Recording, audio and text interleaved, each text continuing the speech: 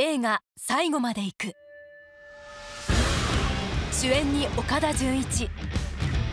共演に綾野剛。2人が初タッグを組んだサスペンスエンターテインメント大作。ついに完成。原作は世界中で話題となったかつてない逃走劇だ。公開直前物語を彩る俳優3人が最後まで行くの魅力をとことん語ったもうねあの一つ一つもうずっと映画を見ててねあの最初から最後まで違う感情ちょっとジェットコースター的なものもあって笑えて絶対こういう役みんな3人とも面白いと思う演じるにあたって。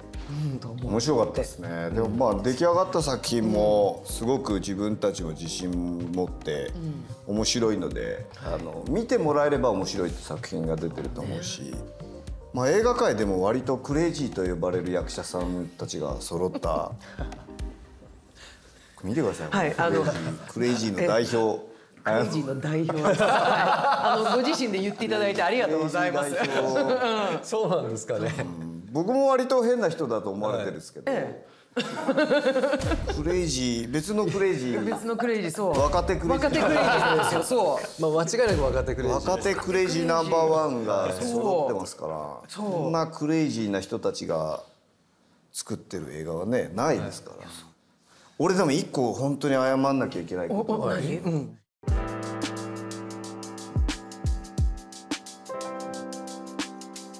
指大丈夫だった？あ指大丈夫でした？なんすか？なんすか？指をさ、はい。挟むシーン。あるシーンでね。あるシーン。あー指をありますありますありますね挟むシーンがあるんだけはいはいど軽く握ってるつもりなんだけど、俺握力ゴリラじゃない？よくクレイジーですよね。挟むもので挟むから、そのこっちもうわーって言ってこう柔らかくやってるつもりなんだけど、はいはいはいちょっと入ってたっぽくて。ちぎれるかと思いました。っていうのがあってだ本当ごめんってなった。数日後が残ったんですけど。でも痛みは大丈夫大丈夫です。すごい。実は一番最初に今だから聞きたいっていうことありますかって聞こうと思ったから自然とその話になってちょっとびっくり、ちょっと追っかけるシーンがありまして、こんなにこう追っかけがいのある俳優僕は他に知らないというか、ただ走ってるだけじゃなくて。いろんな感情を外にまき散らしながら逃げるんですよ。いやゴーゴさん淡々と追っかけてくるのかなと思ったら、テストとかで急に規制上げたりするんですよ。出ためっちゃ怖いじゃん矢崎と思ってだから僕も逃げがいがあると言いますかやっぱそんな怖い人から逃げなきゃまずいってやっぱ思うんですよね。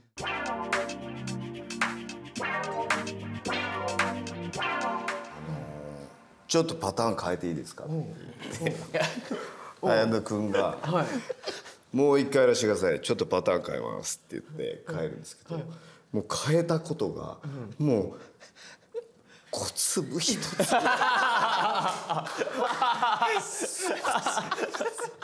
こんな繊細なとこで戦ってんだっていうのは面白いですよね。だから面白い。ちょっと変えてやっていいですか？よろしくお願いします。ちょっ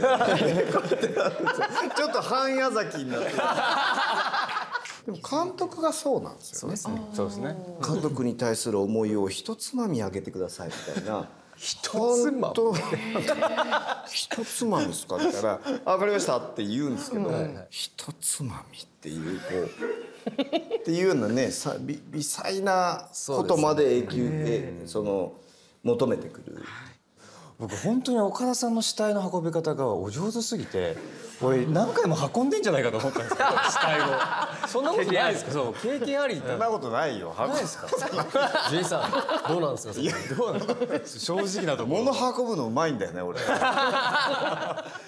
僕最初のシーンとか結構小屋の方にこうガッと持っていかれるシーンだったんですけど、で結構瓦礫というか、ね、ガチャガチャしたものがあって、はい。頭が危なかったんですけど、それをこうなんか支えながら持ってってくださったんですよね。意外と優しいんですよ。優しいねそういうところですごいなって思いました。ある事故をきっかけにとんでもない陰謀に巻き込まれる刑事工藤その工藤を追いかけるエリート監察官矢崎そしてミステリーの鍵を握る男小田三者三様個性的な役をどう演じたか。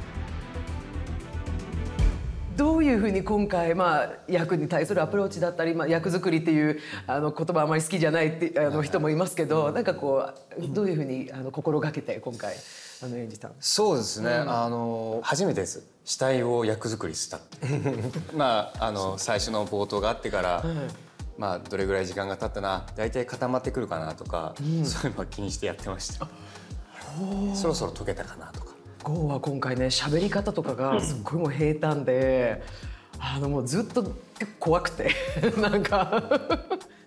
なんか矢崎がさらに矢崎を演じてる感覚が強かったです、ね、結局やっぱ取り繕わなきゃいけないっていうか、絶対バレちゃいけない今の自分の心情がっていうのがあるんで何かをこう絶対に奪われたくないだけでなっていったっていうすごくシンプルなことなんですけど。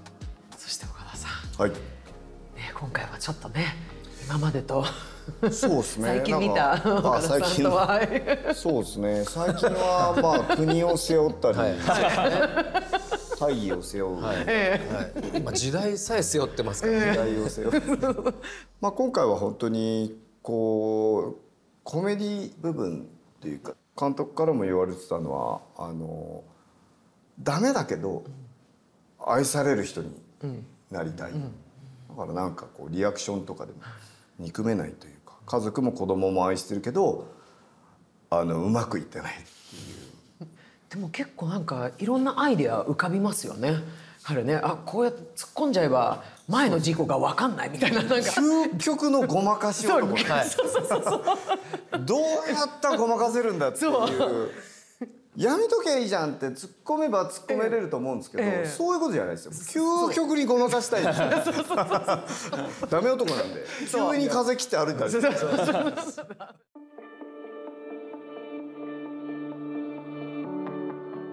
岡田さんねやっぱり監督と仕事したかったっていうのが、まあ初めてだったですけど、まあ、役者さんがみんな愛して藤井監督に希望を持ってやりたいって言ってるのがすごくよくわかる、あの監督だったですね。まあ、今間違いないもの作ってますからね。あのクオリティに関してこうこれ以上下げないっていうかここのクオリティを守るっていうことに対してのあの思いっていうのはすごいよね、はい。これ絶対下げない。絶対下げない、アップデートし続けるっていう、その表現をの幅をせ、なんていうんですかね狭めない。表現を諦めない。っていうことはずっと徹底してると言いますでしょうか、どう？いやあの人柄が変わらないと思いましたね、本当にこうあの役者に対してスタッフさんに対するその優しさだったり、まあ、芝居の演出のその親身にあの教えてくださるとことかはもう本当に45年経ってても変わらないえー最後までいくこの作品は本当にあのエンターテインメントとしてあの見ていただけるあの本当に面白い作品ができたと思っております。また僕たちはこういう作品を作れるようにぜひ劇場で、えー見ていただけたら嬉しいなと思います。5月19日公開になります。よろしくお願いします